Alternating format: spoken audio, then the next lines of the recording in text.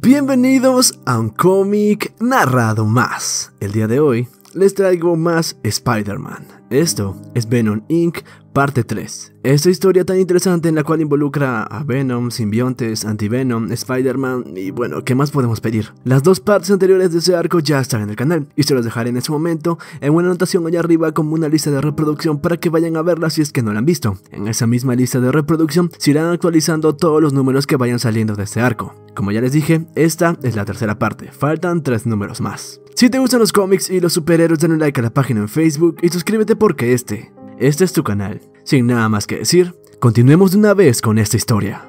Sick, Sick, vuelve aquí, Sick, vuelve. Se supone que no debías dejarlo ir sin correa, cabeza hueca. Ay, vamos, sí que es un buen perro, él volverá. Vemos como Sick, el perro se había escapado y estaba ladrando. Se acerca a una persona que estaba sentada en un banco. Esta persona era Eddie Brock. Él decía, Vamos, Eddie, concéntrate. No patees al perro, concéntrate. Se lo llevaron de nuevo, concéntrate. Spider-Man, Flash Thompson, ellos aún creen que pueden determinar cómo debo vivir mi vida. ¿Cómo?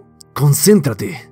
Mantén tu mente en calma. Encuentra la parte que sabe dónde está tu otra parte. Parte que tira como una pequeña cuerda. Tú solo síguela. Síguela y no la dejes ir. Y después de que la encuentres, entonces podrás dejar salir todo tu odio.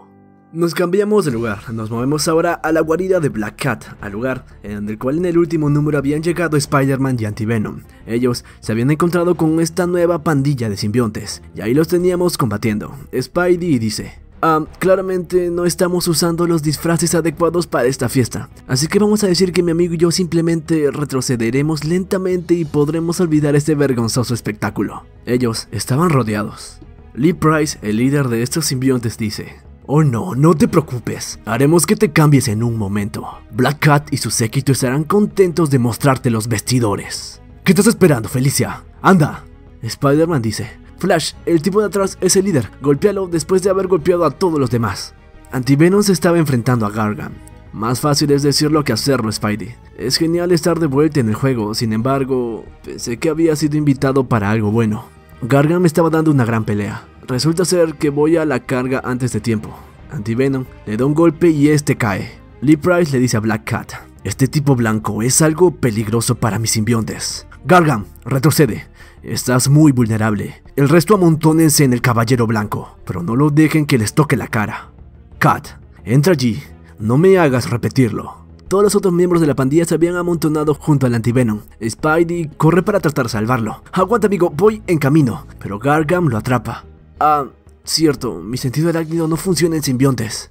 Y Gargam lo estrella contra una pared, haciendo caer su brújula de simbiontes. Nos movemos ahora al apartamento de Bobby Morse, la novia actual de Peter Parker, en la cual habían desarrollado esta brújula de simbiontes para poder encontrarlos, pero ellos habían dejado el simbionte en la bañera. Este se estaba despertando.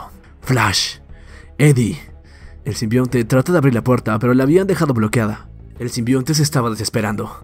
Yo debo salir de aquí. Estaba destruyendo todo el baño. Rompe la ventana y en eso ve que un pedazo de vidrio se mete por el conducto de lavamanos. Claro, el desagüe y el simbionte se escabulle por ahí. De regreso en la guarida de Black Cat, Lee Price dice, mantengan al caballero blanco desequilibrando, flanqueenlo.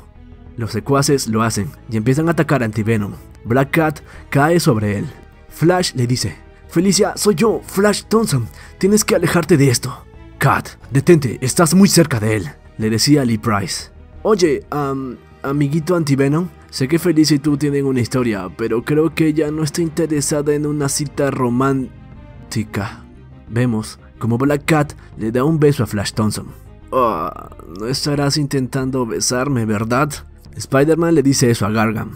De regreso con Black Cat y Antivenom, después de haberle dado el beso, el simbionte sale del cuerpo de Felicia. ¡Ja! ¡Funciona! Felicia, tú estás bien. Hace tiempo que no te miraba, mi Flash. Gracias por ayudarme. Lee Price dice, Atrápenla, tráiganmela de vuelta. Felicia continúa. Ah, pero no podré decir que estamos tan bien, Flash. Ella corre a través de la habitación y trata de escapar. De fondo podemos ver a Eddie Brock. Él caminaba y nos iba diciendo, me ha llevado un tiempo, pero me di cuenta. No se trata de ninguna concentración, solo reacciona, dejando mi mente en blanco y solamente caminando. Siento cosquillas en la garganta. Cuando más cerca estoy, más fuerte la siento. Vemos cómo Black Cat estaba tratando de salir de su guarida. Somos superados en número. Lo siento, Spidey, esta gata debe huir.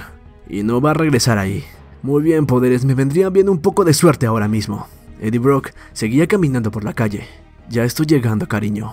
Quien quiera que te tenga, se va a llevar una sorpresa. Una gran sorpresa.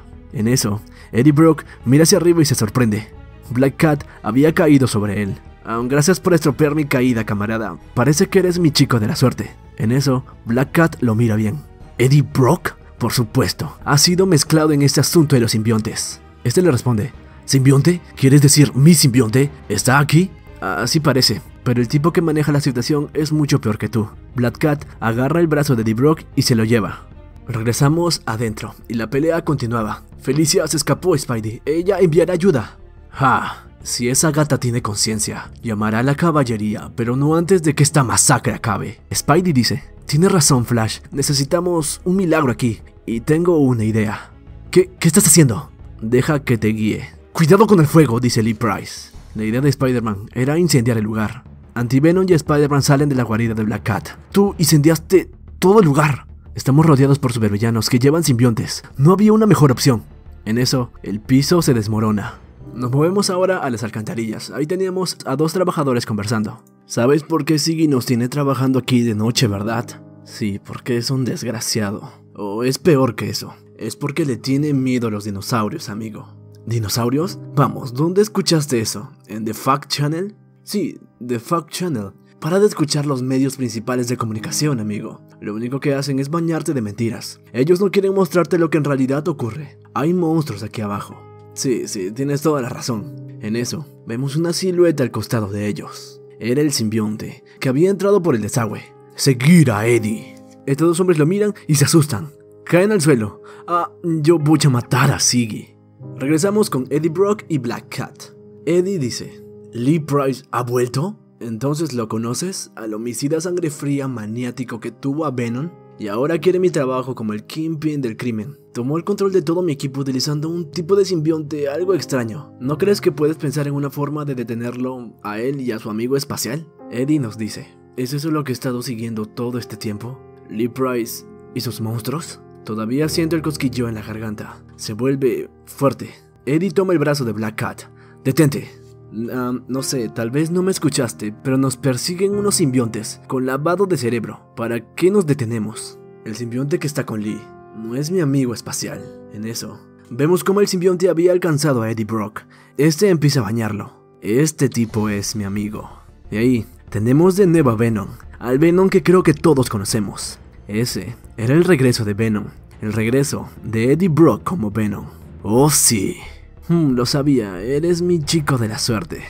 Regresamos con Spider-Man y Anti-Venom. Flash, debo decir que es bueno verte en un traje de nuevo. Has hecho un gran trabajo, primero con el programa y luego con los guardianes. Lo has logrado en varias ocasiones, solo puedo decirte buen trabajo. Lo aprecio mucho, Spider-Man, pero el momento podría ser mejor si hubieras esperado cualquier momento que no sea justo después de haber sido golpeados, capturados y totalmente jodidos. Ellos habían sido capturados y estaban ahí de cabeza. Ah, sí, creo que tienes razón. En eso escuchamos la voz de alguien más. Bueno, esto no será placentero. Ahora, ¿Qué voy a hacer con ustedes dos? Y ahí teníamos a Lee Price y a su pandilla de simbiontes, enfrente de Spider-Man y de Anti-Venom.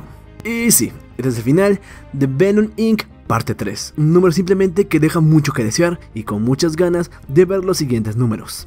Como muchos ya sabrán, ya terminé el ciclo de universidad y ahora estoy de vacaciones. Es por eso que vamos a tratar de darle un nuevo camino al canal y vamos a tratar de regresar a como estaba antes. Así que la primera forma de hacer esto es regresar con los saludos. Y claro, las menciones. Así que vamos a regresar con los premios Barry Allen y con los saludos. Ya saben, los premios Barry Allen son para las personas que comentan más rápido en los videos y los saludos los voy a volver a intercalar. Las personas que tienen más likes en YouTube y las personas que comparten el contenido en Facebook. Así que si quieren un saludo, ya saben qué hacer. Vamos a empezar con las menciones. El premio barrial en el comentario más rápido del video pasado es para Thomas Cruz con su comentario de Mi.